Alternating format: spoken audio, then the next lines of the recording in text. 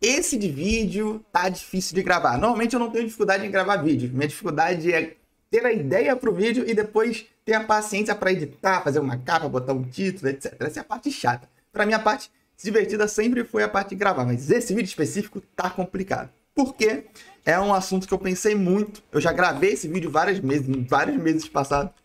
Quando eu pensei em parar de fazer vídeos, eu, tava, eu gravei o vídeo, eu resolvi não postar porque eu achei que não tava bom, não era o momento.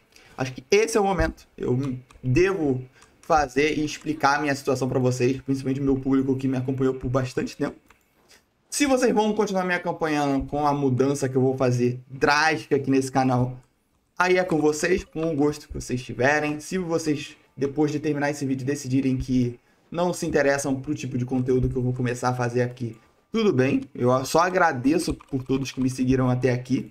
Eu tive muita sorte com vocês, porque o público de Genshin Impact é um público complicado, é um público muito diverso. E acaba que, por ser um público muito diverso, muitas pessoas não muito legais acabam entrando no público, né? Por ser um público muito abrangente também. Acaba que mistura várias tribos e aí o, a intriga, né? As, nas redes sociais acaba esquentando, né? Pessoal hardcore, casual, pessoal que nunca jogou gacha, pessoal que já jogou gacha bastante, pessoal que se interessa por combate, pessoal que não se interessa por combate. Enfim, e eu não tô interessado nisso, nunca tive. E felizmente aqui no meu canal eu nunca tive problemas com isso. Sempre tem o pessoal, né, discordando um com o outro, ou falando que a Shang Ling é a melhor personagem de pai do jogo, e vocês falando que a Rutal, não sei de onde vocês tiraram isso, obviamente é a Shang Ling. Mas enfim, acaba que né, tem essas brincadeirinhas aí. Porém, eu nunca tive problemas com a comunidade, vocês sempre me seguiram e sempre me apoiaram assim no geral, tá? Então, agradeço pra caramba, vocês são fodas. Bom, vamos lá. Qual é o futuro do canal e por que eu parei de fazer vídeos? Bom, eu ter parado de fazer vídeos sobre Genshin Impact, na real é muito simples a resposta. É que eu perdi muito interesse no jogo. Eu continuo jogando, tá? direto, então, por continuar jogando ainda muito jogo, é capaz de vocês verem vídeos de Genshin Impact ainda nesse canal, tá? mas não vai ser o foco, não vai ser um canal só de Genshin Impact. Isso foi um negócio muito difícil de eu decidir fazer, porque, querendo ou não, esse canal foi construído na base do Genshin Impact. Isso aqui não era nada. Isso aqui era um monte de mato antes de eu começar a fazer vídeo de Genshin Impact. Então eu vou perder a gigantesca parte do meu público, eu já aceitei isso. Quero fazer vídeos só sobre coisas que me interessam. Eu não quero ser forçado a fazer vídeos sobre o jogo que é o único jogo que dá view no meu canal. Em resumo, é isso, né? Eu gosto de view, mas também gosto da minha sanidade mental.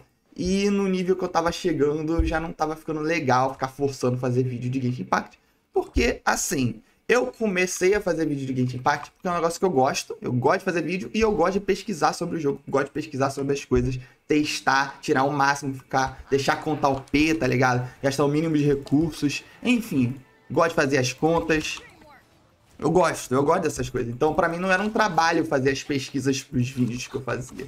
Era um negócio que eu já fazia normalmente. Eu só transformava o que eu fazia normalmente e, fazia um e usava como roteiro, né? Porém, como eu parei de me interessar nessas coisas, por que eu parei de me interessar nessas coisas? Porque o jogo começou a ser chato? Não. O combate do Genshin Impact, na minha visão, é um dos melhores combates que a gente tem. Sim, amo o combate desse jogo. É um combate extremamente simples. Você tem um ataque normal, carregado, pular, né, um ataque imersivo, experimental, supremo e acabou. É isso. E, e, ah, e tem um dash não, não tem não é nada complexo, né? Aí você pode trocar entre os personagens. O sistema de, de reações é muito bom, eu acho que como sistema para gameplay ele adiciona pra caramba pro combate. Porém, ao mesmo tempo que é muito bom, você não precisa saber exatamente o que está acontecendo para usar, né? Então, assim, é um é, um, é uma coisa que o pessoal que está iniciando pode usar, só que se você quiser aprender mais, você consegue aprender mais e consegue melhorar pra caramba a sua ação na sua conta, etc. Enfim. Amo o sistema de combate desse jogo, já falei bastante sobre isso. Porém, infelizmente, a única coisa que a gente tem é o abismo.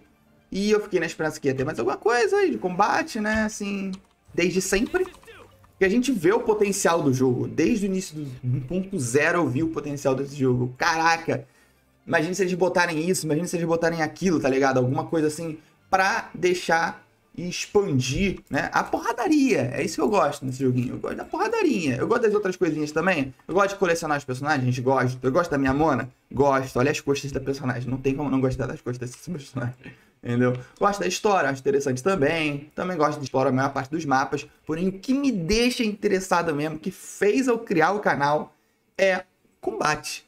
Entendeu? E infelizmente, sim, não tem. eu simplesmente não me interesso mais pelo combate. É simplesmente muito fácil e não tem desafio, não vai ter mais desafio no futuro, né? E meio que a confirmação disso acabou comigo, né? No momento que teve lá a entrevista, a gente viu, né? Pela entrevista que não vai ter mais nada para relação ao combate, vai ser só o abismo que a gente tem mesmo. Que vou ser sincero para vocês, eu nem acho o abismo legal como sistema de combate ali no late game. Eles já botaram alguns eventos de combate muito mais divertidos que o abismo, mas a única coisa que a gente tem é o abismo, então a gente tem que aceitar e usar o abismo.